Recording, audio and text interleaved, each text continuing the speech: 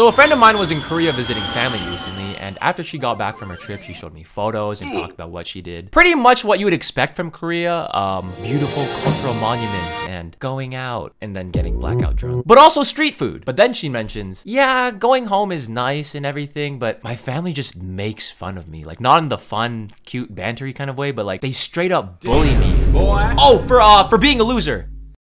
No. You think I'm a loser? They bully me because they think I'm too dark. They think your pale ass is dark? Especially my grandma. She then goes on about how worried she was for her complexion and that she had all these plans to brighten her skin and stay out of the sun. And I was like, you, you really shouldn't have to do that. That's kind of sad, honestly.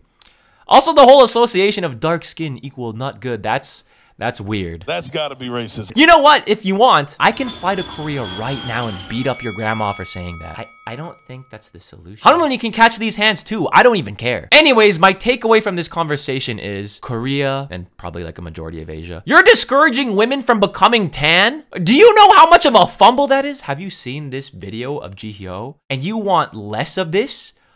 What are you, gay? In conclusion, I'll beat up your grandma if she's talking shit about you. I was gonna rip his heart out. I'm the best ever. I'm the most brutal and vicious and most ruthless champion there's ever been. And I'm just ferocious. I want your heart. I want to eat his children.